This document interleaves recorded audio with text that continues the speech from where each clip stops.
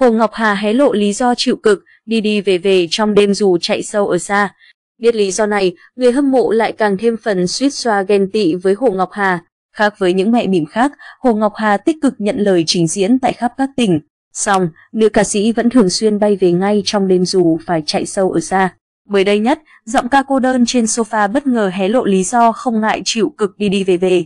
Hồ Ngọc Hà đăng tải hình ảnh chụp cùng ba nhóc tỷ sắp yêu, Leon, Lisa cùng dòng trạng thái. Đây là lý do cứ xong sâu diễn mình sẽ bay về trong đêm cùng gia đình.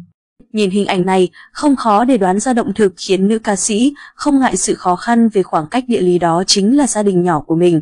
Điều này lại khiến người hâm mộ lại càng hạnh phúc, suýt xoa ghen tị với Hồ Ngọc Hà.